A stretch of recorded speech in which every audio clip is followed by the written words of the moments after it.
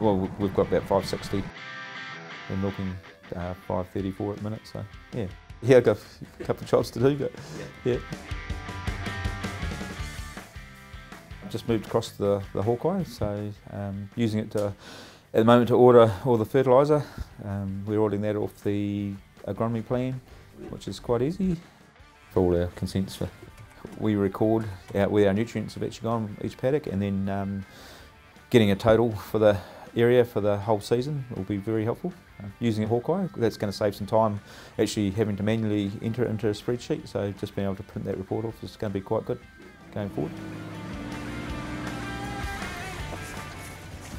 Some of the stuff I didn't realise it was could do, we've been able to put areas where they're health and safety, where mark areas on the farm as hazards and that. Um, actually having the satellite map there that you can actually zoom in and put it at the right place.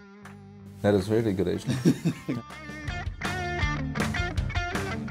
That could be quite a good thing if you've got a new staff member, say you want a fence here in the paddock, you could pretty much draw it on that map and give it to them. So something like that could be uh, quite handy.